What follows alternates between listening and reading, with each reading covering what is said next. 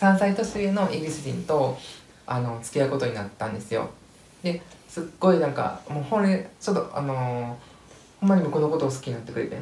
ほんまに楽しかったんですよ。もうめっちゃこれめっちゃ好きになってくれて楽しかったんですけどもあのー、僕その日本に帰る日っていうのを決めてたんですよ。で、えー、その彼氏は僕に帰らないでほしいって言ってたんですけども僕は日本の日本での仕事の経験をどうしても積みたかったんですよ。日本で一回仕事したかった。で、えー、何年か日本で働いてでまたイギリスに戻ってきて一緒に住みたいっ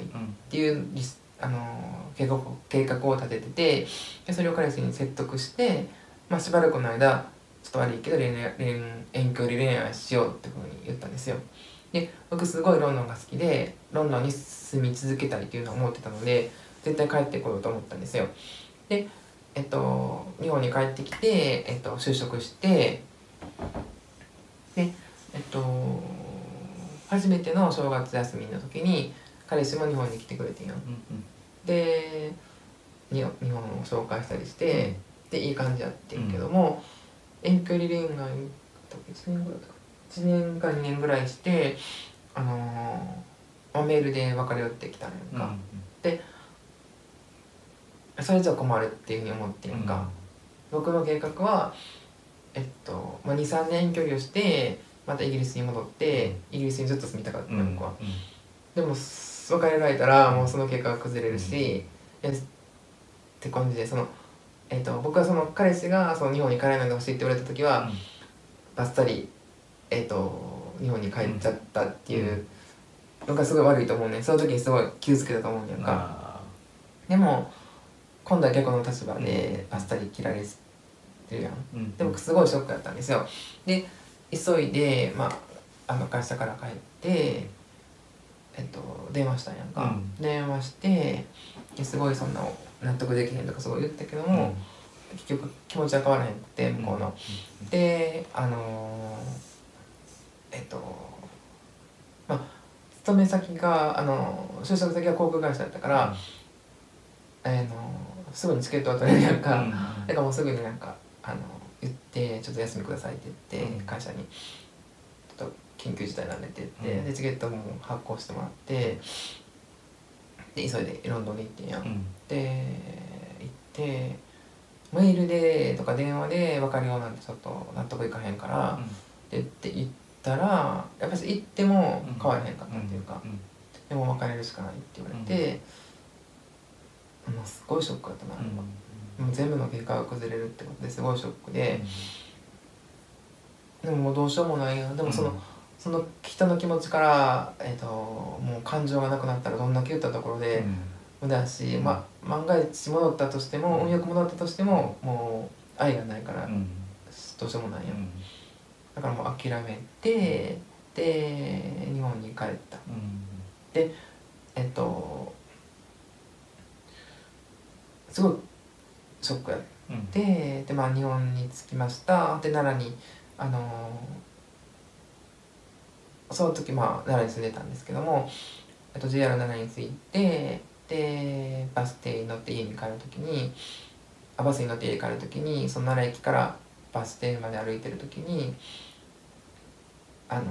生まれて初めてなんか顔面からこけてん。や、うん、バターってこけたんですですごい冬だったんですしかも。であのー、顔面からこうパッて倒れてですっごい痛い。痛いめっちゃ痛いの。顔面から落ちたことがある人は分かってくれると思うんですけど、なんかほんま漫画に出てくるような、もうこういう感じでバーンって倒れてやんかバーンってでしかも買いか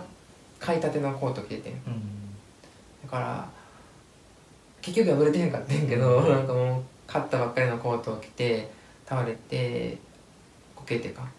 でしかもちょうどラッシュ時やった、夕方の、だからもうすごい人がいててでみんなが僕の方を見てるのが分かってたから、うん、なんか悔しいし情けないし痛いし、うん、でも恥ずかしいから、痛さを痛みを隠して立ち上がったわ。辛いなえ？ー、辛いな。辛い。辛かったな。辛かった。すごい辛かった。それは遠距離が難しいっていうことにもつながるの？国際恋愛の難しさみたいな。と一番の一番の敗因っていうか一番の失敗っていうか、うん。その時ってやっぱ自分も若か、まあわ、若いを言い訳にすぎやねんけど、やっぱ相手の気持ちを考えてへんかったな。なんかもっと相手の気持ちを考えてその向こうがすごい必死に日本に帰らないでほしいって言ってるのに、ちょっと冷たくじゃないけど、まあ、日本での仕事の経験をしたい経験したいから帰あのー日本に帰るわみたいな、うん。だからもうちょっとその帰るにしても、もっと向こうの意見も聞くべきだっただからそう冷たくしてしまったことによって僕への対する感情がちょっと減っていくかもしれないな、うん。まあちょっとそばに降りたい人やったかもしれない。遠距離がもう難しい。ずっと会いたいずっと。うん。な一緒に生きていきたいと思っとったらその年に何回かしか会えへんわけやろ、うん。か海外なんてさ。うん。そうそうそうそう。でもショックだったわすごいすごいショックだ。った、うんその人と別れるっていうショックもある。プラス自分の人生設計が全てくるっていうショックもあるね。ああのー恋愛経験とかあんまりないねんけどでその人と、あのー付き合う前にえっともうすごい入り組んでるねんけど、うん。あのえっとえー、何や。結構10歳ぐらい年上のあの人と仲良くなっててんやんか、で僕はその人と付き合いたかったね、うん。すごい。あの結構かっこよかったし、うん。ですごい優しい人やねんか、うんでもその人はあのえっとと付き合うとかす興味がないんやんか、だからえっとえっとそういう関係にまで発達せえへんかったんやんか、で、えっと、その人はそのロンドンじゃないとこに住んでて、でロンドンで出会ってであの一回遊びにもいいよって言ってくれたから、えっと、ほんまに行ってんやんか、うん。その人が住んでる都市まで、うん。そしたらほんまに来たみたいな感じで言わはって、でもその人ちょっと潔癖症なところがあるから、ベッドに2人で寝ることができるあベッド、えーその人の家に泊まりに行ったら、あえっと、別々のベッドに寝るみたいな。一回トライしてんけどやっぱ寝られへんかったらしくてで別々のベッドで寝て、で、えっと、付き合いたかったけども、うん。付き合われへんかって、うん。でやっぱりそのめったに会われへんから、うん。久々に会ったらすごい僕はちょっと嬉しいうん。から、嬉しかったらもうやっぱり嬉しい表情が出るから、うん。あの向こうもなんかそんな喜んでくれるのみたいな感じだったけど、うん。もう付き合ってはくれないからもう諦めたんですよ。で言言うた。ここあの付き合ってくださいとは言うた。言わん言えんかった。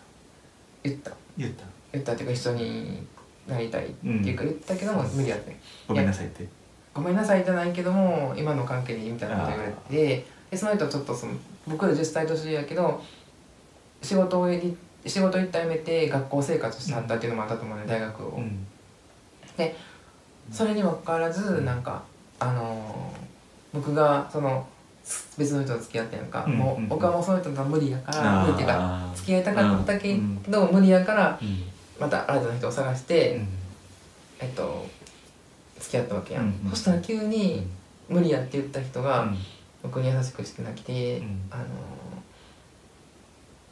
急になんか僕のことをもう好きやみたいなこと言い出して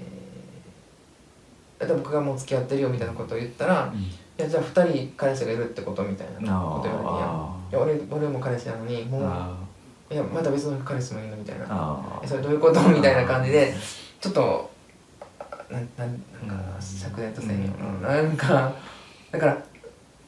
それってひどいと思わへん？だからえっと僕がすごい恋をもしもしてた時は余裕、うん。なんかうん